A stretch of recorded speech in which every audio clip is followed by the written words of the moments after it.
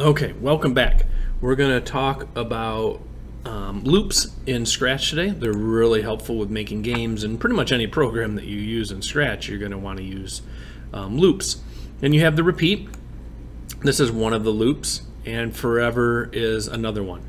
There are others as well. Um, you have repeat until, and this will actually repeat until something happens. We're going to focus on that in another video, uh, more advanced loops.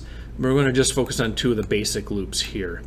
Um, repeat until and then forever. So let's take a look at the repeat. Essentially, it is what it what it does. It'll repeat however many times you have it do something. So if I, I'm just going to attach an event on top of this, and then I'm going to go to looks, and you know there's you could pretty much stack anything in here. I'm going to have it just change size, and it's going to change size by 10, and it's going to do that 10 times. Okay, so if I press the space bar, it's going to grow. It's going to grow. Now notice it did that very, very quickly. And so I'm going to actually subtract this now.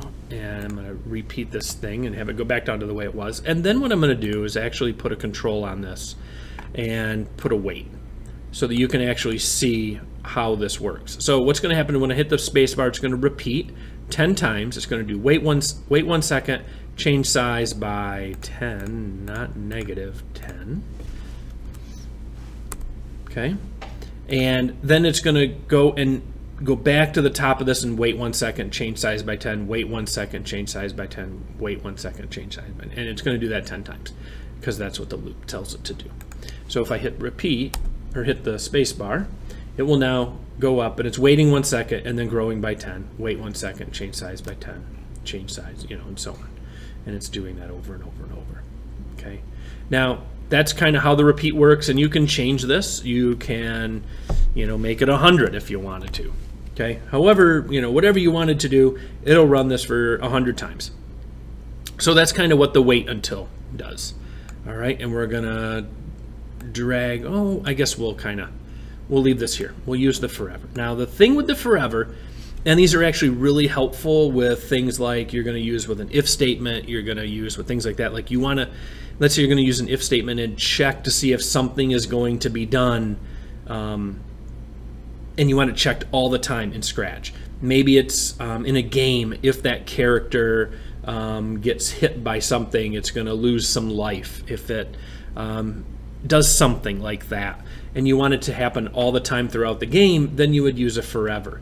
And if I actually drag these down here, and now what's going to happen? It's going to do this forever. And so my character will grow forever. And it's just going to sit here and run this loop, wait one second, change size by 10, wait one second, change size by 10, wait one second, and, and so on. And it's going to run this loop forever. And it will, it will continually run this forever until you stop it. Okay? And the way to stop that is just hit the stop sign up here. So my character is just going to continue to grow and grow and grow. Um, so the forever loop, really helpful. You could have it do, you know, check an if statement and things like that, but that's kind of what the loops are for, is to have something run for a set amount of time or forever. Now if I want to stop this, and then I'm going to do negative 10, and let's take the wait out of this you're going to find that it's going to go very quickly.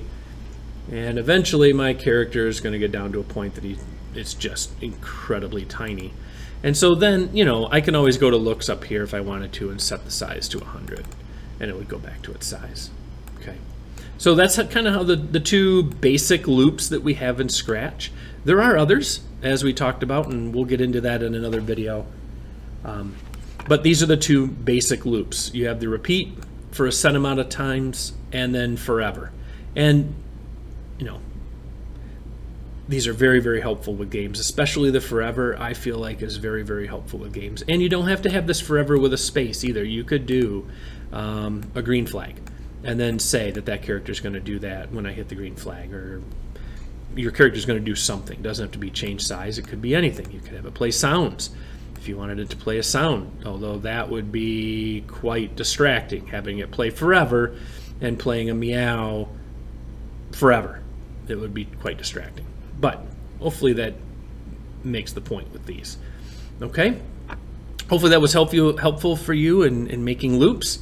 and good luck in your uh, development and learning of Scratch.